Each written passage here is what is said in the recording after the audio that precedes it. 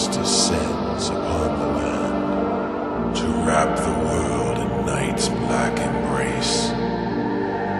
The restless dead stir in their ancient tombs, and creatures born of shadow rise to quench their savage hungers. Whispers echo from the crypt, beckoning with the promise of dark desire.